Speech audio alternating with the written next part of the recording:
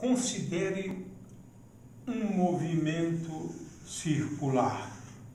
Uma partícula de massa m se move numa circunferência de raio r.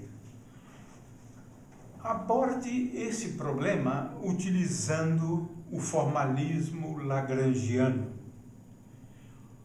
Ora, vamos estudar né, o movimento circular mais geral possível. Né? É claro que nesse caso eu deveria levar em conta a Lagrangiana em função da única variável relevante, que é a variável φ. Né? Então, para a gente escrever a Lagrangiana, para a gente entender como o formalismo lagrangiano é simples. Né? Vamos analisar o caso em que o movimento é um movimento circular e uniforme. Né? Ora, ou seja, o que nós estamos querendo dizer com isso? No caso de um movimento mais geral possível, um movimento circular, a gente começa com uma lagrangiana em coordenadas polares. E essa lagrangiana é dada por m sobre 2, nós já discutimos isso antes, vezes ρ ponto ao quadrado, mais, estou escrevendo a lagrangiana em coordenadas polares, ρ2 vezes φ ponto ao quadrado, é a lagrangiana, só depende de duas variáveis, né? menos a energia potencial que depende de Rho e eventualmente de Φ. É a lagrangiana mais geral possível. Né? Ora, mas vejam como as coisas se simplificam. Se eu tenho um movimento circular, Rho é igual a R. Rho é igual a R.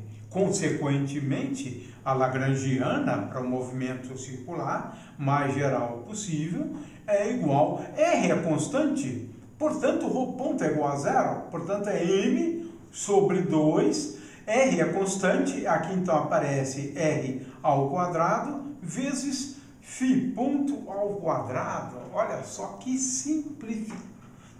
que simplificação do problema nós temos. A Lagrangiana é extremamente simples. Eu estou considerando aqui U igual a zero. Para simplificar, nós vamos ver que isso vai nos levar ao movimento circular uniforme. Olha só, a Lagrangiana só depende de φ ponto ao quadrado. M sobre 2, que é a massa da partícula, vezes R ao quadrado, o raio da circunferência ao quadrado, vezes φ ponto ao quadrado. Está aí a Lagrangiana. Tão simples quanto isso. Né? Agora, a equação de movimento é dl dt dl dφ ponto menos dl dφ igual a zero. Mas olha, em primeiro lugar, dl dφ é igual a zero. Essa é a coisa curiosa aqui dl de porque eu estou desprezando a energia potencial, ela não está sob a ação, por exemplo, da gravidade, né? no movimento circular. Né? Então, U igual a zero, dl de igual a zero.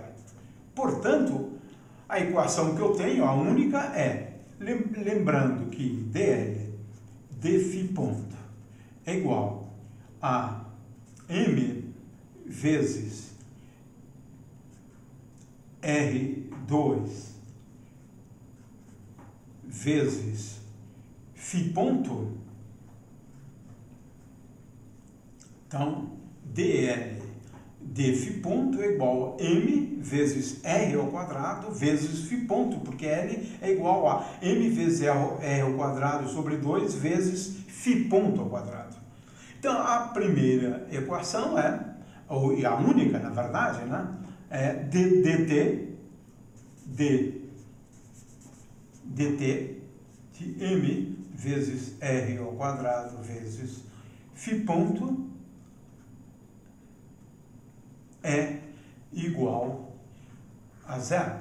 Eu isso eu posso ver agora de duas formas. A primeira é que m vezes r ao quadrado vezes φ ponto é igual a uma constante que eu vou escrever como sendo igual a m vezes r ao quadrado vezes ômega. Consequentemente, φ ponto é constante, ou seja, a velocidade angular da partícula é igual a constante.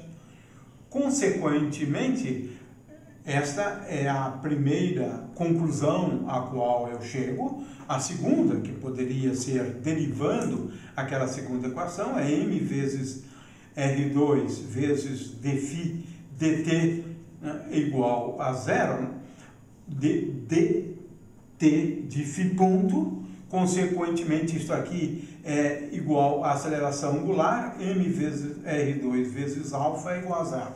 A aceleração angular é igual a zero.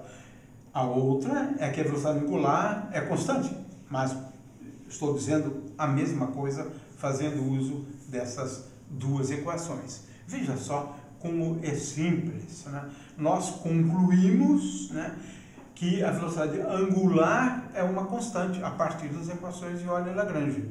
Ou ainda a velocidade escalar, porque a velocidade escalar V é igual a R vezes φ ponto né? ou R vezes ômega, nesse caso, a velocidade escalar é constante no movimento circular.